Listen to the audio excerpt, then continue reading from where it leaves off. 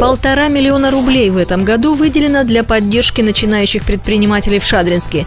Таков размер суммы грантов, предусмотренный областным и городским консолидированным бюджетом. Каждым годом э, все популярнее становится этот конкурс. А, были времена, когда мы и по 10 грантов, и по 16 выдавали. Но в этом году радует то, что у нас из 6 заявок 5 – это производство. Потому что раньше у нас были всяческие услуги, э, там э, маркетинговые, какие-то банковские, какие-то э, по развитию там, детей, детские, ну, детские сады частные – много всего, там всякие фитнес-центры, ну то есть много услуг, не связанных с производством. Услуги, они, конечно, тоже нужны, но приоритет это все равно производство.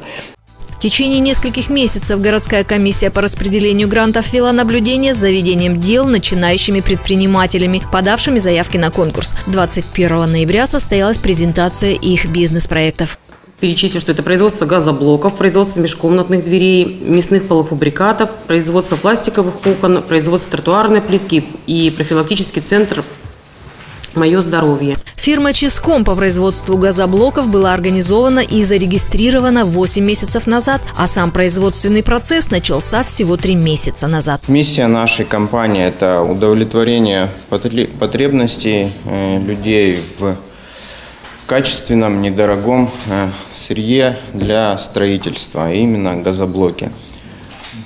Этот продукт на сегодняшний момент является достаточно востребованный. Э, большинство э, строений малоэтажного домостроения, а также многоэтажного корпусного строения используется с применением данного материала. Весной следующего года предприниматель готов увеличить штат работников в два раза, которым будет выплачивать зарплату 8 тысяч рублей.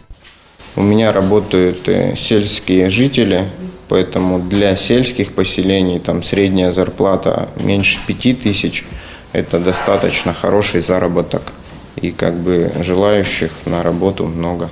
Кроме заработной платы сотрудникам и количества возможных рабочих мест, членов комиссии интересовало, чем предлагаемый бизнес отличается от аналогичного уже существующего в Шадринске и насколько будет востребована продукция производства. В результате большинством голосов максимальную сумму гранта получили трое молодых предпринимателей. Производителям газоблоков и мебельных фасадов, а также изготовителю продовольственной продукции вручили сертификаты на 300 тысяч рублей. Дмитрий Шлыков и Ислам Битиев, один из которых специализируется специализируется на изготовлении тротуарной плитки, а другой пластиковых окон удостоены грантов в размере более 200 тысяч рублей. Единственным представителем сферы услуг в этом году стала руководитель профилактического центра «Мое здоровье» Татьяна Павлова. Бизнес-леди намерена предложить шадринцам заботиться о своем здоровье, посещая курсы массажа, консультации психолога, валиолога и других специалистов. Комиссия пришла к выводу поддержать работу центра с суммой в размере 100 тысяч рублей. Услуги, медицинские услуги, к сожалению, у нас сейчас медицина постепенно как бы уходит больше в платный э, формат. Вот. И, соответственно, предприниматели эту нишу пытаются занять свободную нишу по предоставлению вот медицинской помощи за небольшую плату. Плата небольшая, но э, услуги оказываются, какая-то должна быть альтернатива, и, в общем, малый бизнес здесь эту нишу занимает.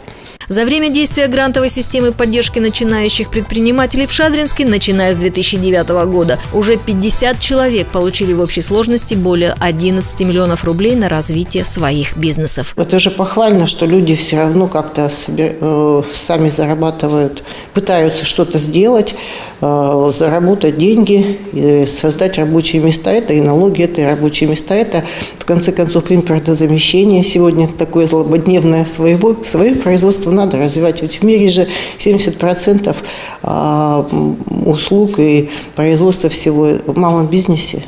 Малый, средний бизнес, нам, а у нас этот процент, он едва ли дотягивает 15%, поэтому нам нужно развивать малый бизнес –